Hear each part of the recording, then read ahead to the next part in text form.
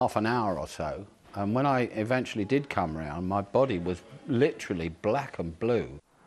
Only now is he revealing the full story behind a heart attack in June. He collapsed after a concert in Turkey and only survived because he was found and treated quickly. His 50-year career is now on hold. He's been forced to pull out of Quo's last ever tour as an electric band. Even though Francis Rossi and Quo are moving to the gentler pace of acoustic shows and have drafted in temporary replacements, Rick may be unable to make a comeback.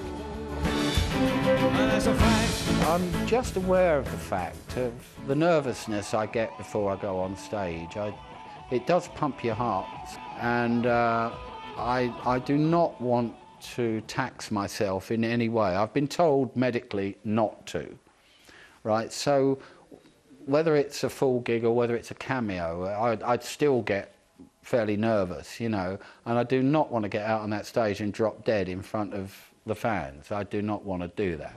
For now, he's taken a complete break at his home in Spain and contemplating less demanding solo projects in the new year. I, I do miss the lads, I miss the laughs we have on the road, and I, you know, I do miss being with Quo, of course I do.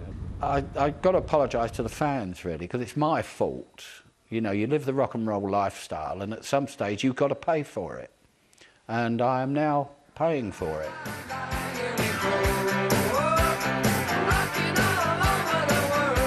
This was his third heart attack, and he's undergone surgery several times. His memory has been affected, but his sense of humour remains unimpaired. Here I am sitting here now after this immense trauma that I've been through and actually having died, you know. And if anybody's thinking about it, there's nothing happens. it all goes black.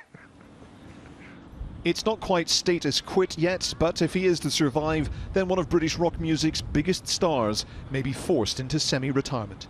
Ian Woods, Sky News. Great man, and uh, he'll